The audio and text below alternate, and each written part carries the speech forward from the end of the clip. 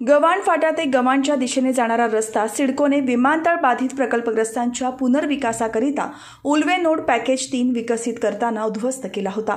हा रस्ता गव्हाण शेलघर नावा नावाखाडी कोपर शिवाजीनगर या गावातील नागरिकांचा रहदारीचा रस्ता असल्यामुळे त्याचा त्रास त्यांना होत होता. या संदर्भात माजी खासदार लोकनेते रामशेठ ठाकूर यांनी सिडकोकडे पाठपुरावा केला असून अखेर त्यांच्या प्रयत्नांना यश आले आहे. त्यानुसार माजी खासदार लोकनेते रामशेठ ठाकूर यांच्या हस्ते या पंधरा मीटर लांबीच्या रस्त्याचे शनिवारी भूमिपूजन झाले. यावेळी त्यांनी पनवेल उरण नवी मुंबई या ठिकाणी जाण्याकरिता हा रस्ता महत्त्वाचा असून लवकरात लवकर या रस्त्याचे काम होईल अशी अपेक्षा व्यक्त केली. सिडकोमार्फत नवी मुंबई आंतरराष्ट्रीय विमानतळ बाधित प्रकल्पग्रस्तांच्या पुनर्वसनाकरिता उल्वे नोड पॅकेज तीन विकसित करताना जिल्हा परिषदेचा सत्तर वर्षे जुना तसेच गव्हाण जावळे शेलघर न्हावा न्हावाखाडी कोपर शिवाजीनगर ग्रामस्थांच्या रहदारीचा रस्ता उद्ध्वस्त केला होता. आम्रमार्गाच्या रचनेनुसार सर्व ग्रामस्थांना उल्वे नोडमधूनच जावे लागत होते. मात्र हा गव्हाण फाटा ते गव्हाण हा रस्ता पुन्हा सुरू व्हावा अशी ग्रामस्थांची मागणी होती. त्यानुसार माजी खासदार लोकनेते रामशेठ ठाकूर यांनी सिडकोकडे पाठपुरावा केला होता. त्यांच्या या पाठपुराव्याला यश आले असून सुमारे चार कोटी रुपयांच्या या रस्त्याच्या कामाला मंजुरी मिळाली आहे. त्यानुसार या रस्त्याच्या कामाचं भूमिपूजन सोहळा शनिवारी आयोजित करण्यात आला होता. यावेळी माजी खासदार लोकनेते रामशेठ ठाकूर यांच्या हस्ते आणि मान्यवरांच्या प्रमुख उपस्थितीत या रस्त्याच्या कामाचे भूमिपूजन झाले. या सोहळ्याला काँग्रेसचे रायगड जिल्हाध्यक्ष महेंद्र घरत भाजपचे पनवेल तालुका अध्यक्ष अरुणशेठ भगत रायगड जिल्हा परिषदेचे सदस्य रवींद्र पाटील वहाड येथील साई मंदिर संस्थानचे अध्यक्ष रविशेठ पाटील गव्हाण ग्रामपंचायतीच्या सरपंच माई भोईर उपसरपंच विजय घरत सिडको अधीक्षक अभियंता श्री गोसावी श्री फडके गव्हाण ग्रामपंचायतीच्या सदस्या योगिता भगत सदस्य सचिन घरत प्रमोद कडू रमेश घरत रामदास नाईक अश्विन नाईक सचिन घरत हेमंत पाटील ठेकेदार पी डी देशमुख यांच्यासह पदाधिकारी ग्रामस्थ आणि मान्यवर उपस्थित होते. काय गव्हाण फाटा हा जो बसचा स्टॉप जो आहे तो गेल्या सत्तर ऐंशी वर्षापासून एस टी सेवा सुरू झाली तेव्हापासूनचा स्टॉप आहे. पनवेल उरणवरील हा महत्त्वाचा स्टॉप आहे.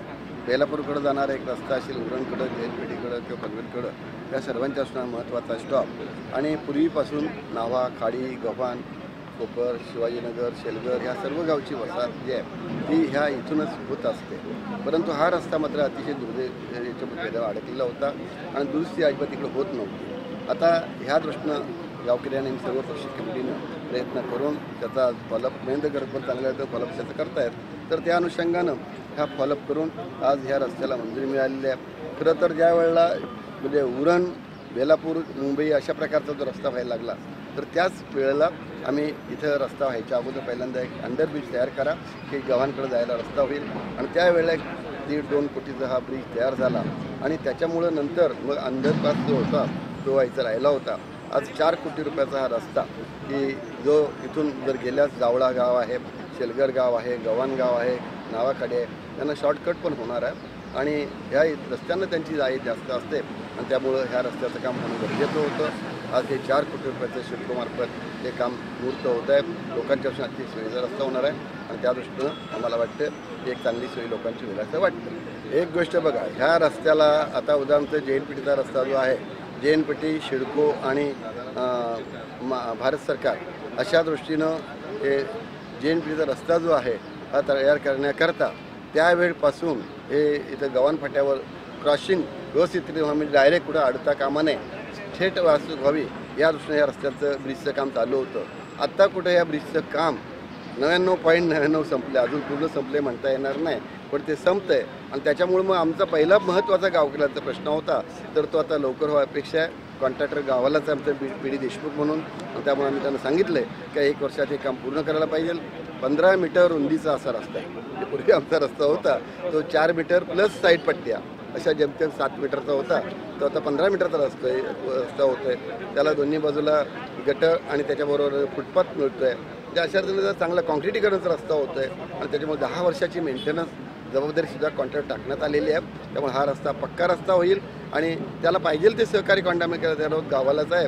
त्यामुळं वर्षभरात पुरं होईल अशी आपण आशा करायला हरकत नाही.